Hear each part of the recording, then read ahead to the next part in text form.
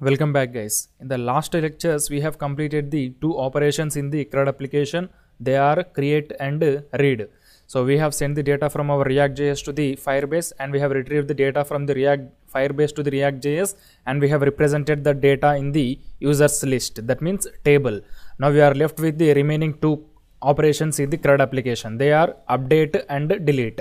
So when it comes to the CRUD application, it may be any technology or any library. Update is one of the difficult tasks compared to all the remaining tasks like create, read, delete. So it's very complex task. So that's why listen very carefully and write down the code in your notebooks or any notepad etc because as i said update is one of the difficult task we need to do some core concepts in the React.js like passing props, uh, taking props, etc. So first of all, let us assume the application like this. So first of all, I will refresh this page. Here you can see. Now I want to, now I will tell one blueprint how we want to perform the update operation. So here in this application, we are having the two components, parent component as well as the add user component. Add user component is the child of uh, parent component. So in React, there is a topic called as props, which is used to pass child from parent component to the child component. So here we are going to implement the props in this update operation. When we click the update operation update button for any one of these object, we are going to pass this object to the add user component. So this add user component will take that object and it will print the values in the input fields. So we will get the values with initialized values. Then you can edit that values and you can click the save button to update it in Firebase. So once again I will tell after getting the users list we have two actions action delete action update we are going to discuss about this delete button in the coming lectures in this lecture we are going to concentrate only on the edit that means update so whenever we click on the edit button suppose if i click on this first edit first object edit button mahendra singh the and if I click on this edit button we have to send this value. That means complete object to the add user component using props.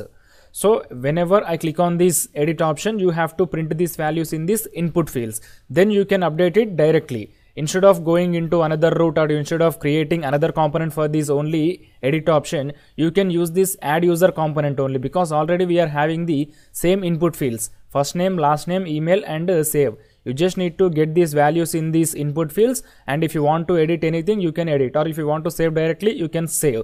And there will be separate code for editing. There will be separate code for both adding and editing and we are going to see that in the next lecture. As of now in this lecture we have to concentrate on how to send these values to the input fields when we click on this button. So here this users list is present in the parent component and this form is present in the add user component. We have to send this any one of the object. That means respective object. If we click on the second object edit button you have to send second object. If i click on the first object edit button we have to send the first object. So now i am going to implement that open vs code. So this is our parent.js component. So first of all i will create one hook for current object. That means the object that we are clicking. Const hook current object or current user. We can call it as current user. Set current user equal to use state. As i said initially it is empty. So when we have to update this current user when we click on the update button of any respective object. So here we have the icons. So this first one is the delete icon and the second one is the update icon. Here you can see first one is delete second is the update.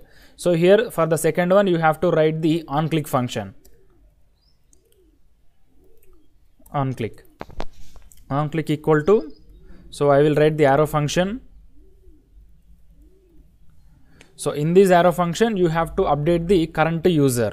So you just need to type set current user and uh, the current user will be this user. That means iter we are iterating for every iteration we will get one row. So that's the reason you have to write user so now let's check the output. If you click on these edit button we have to send these values to this add user component. Now i will click on the edit button. Here you can see there is no change in the output because we have created the user and we have sent the user but we haven't received it in the add user component. So we have to send the props with these values. So where is add user component so here you can see this is the add user component. So in this add user component you have to send the props. You just need to type current user. Current user equal to in the curly braces you have to write current user. Control s. And now we have to receive that value in the add user component First, let me check whether we are receiving the values correctly or not. So, in this add user.js component, I will write the use effect function. Use effect. So, remove all these things. So, use effect is one of the React hook which will be executed automatically whenever the component is rendered. So, here we need to take the props. In the add user, we have to take the props we are getting the user data current user data in the form props. So here i will import use effect hook. Control s. Sorry. Control s. Yeah now initially we do not have these props because when we click on the edit button only we will get the props to the add user component so after clicking the edit button, we have to get the props to the add user component. Then I will print that props value in the console. So when I receive the value to these props, I will print the values in the console. Console dot log props dot current user. That means current user is the object, props is the method, or we can call it as a parameter. Current user control S. Now I will open the console.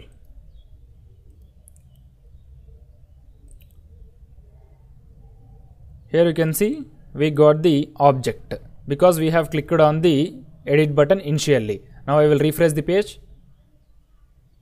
Here you can see now there is no object because we haven't clicked on the any one of the edit button. Now I will click on the second user edit button. This is ronaldo 9989 here you can see now i will click. So there is no change in the output. Let me click once again edit. Here there is no change in the output. Let me check the error So here the error is we haven't mentioned the props dot current user in these array brackets because we are waiting for any we are waiting for an external object which is which is coming from the parent element. So whenever this scenario occurs we have to specify the variable name for which we want to wait. So here we are waiting from the props dot current user. So in this array we have to mention that. So it will execute whenever we got that element only props dot current user control s. Refresh the page and now open the console. So remove all these things and now I will click on the edit button for the second object. Here you can see we got the second object in the console. So we got all the details email first name id and last name. Now I will click on the edit option for the first button first object that means first user here you can see now I got the editor, uh, edited details for the first object. So now we can add these details to these input fields and when we click on the save button first we have to check which operation we should perform. If we have the current user we should perform the update operation. If we do not have the current user we must be performing the new user operation. So how can we check? We can check using the if condition if props dot current user that means if current user is present you have to perform the edit operation if our current user is not present, we have to perform the save operation. That means adding new user. So here that is very simple. Updating is very simple. Here the complex task is you have to send the current user information from parent component to the add user component when we click on the edit button. So once again I will explain how to send that. First of all, we have to create one variable current user object. Initially it is empty. when we click on the edit button you have to update that value set current user is equal to user and we are sending that current user value to the add add user component using the props. Because we can send the data from parent component to the child component using props only in react.js so this is the current user component. Initially it is empty only. In, in add user component also this value will be empty only.